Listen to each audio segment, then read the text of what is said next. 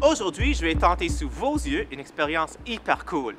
Je dirais même complètement gelée, mais tout à fait légale.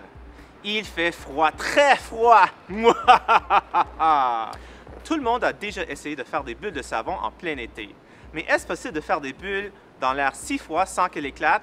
C'est ce qu'on verra aujourd'hui. D'abord, il vous faut un mélange à bulles. La recette se trouve sur le site de Science Express. Et une paille. Et là, il faut évidemment une journée très froide.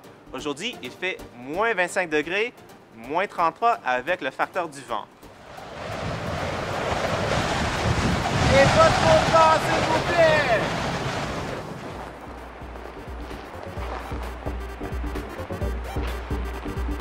Et là, ça fonctionne pas. Parce que ma solution est gelée.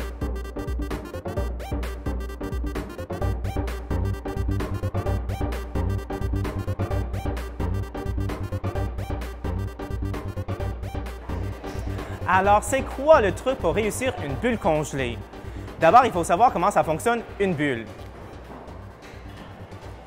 Une bulle est formée d'une fine couche d'eau entre deux fines couches de molécules de savon.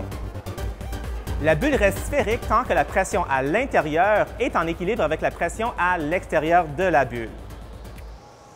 Dès que l'eau commence à s'écouler vers le bas, les pressions se déséquilibrent et la bulle finit par éclater.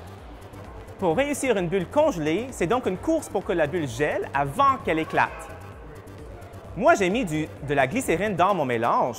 Cela aide la bulle à rester plus longtemps. Par contre, elle a aussi l'effet de retarder la cristallisation de l'eau. C'est donc un équilibre entre la température et le taux de glycérine dans le mélange qui fait en sorte que cette expérience va réussir. Wouhou, ça gèle! Et on la voit même en train de se cristalliser. Et là, moi aussi, je gèle, donc je rentre à l'intérieur. C'était James pour Science Express.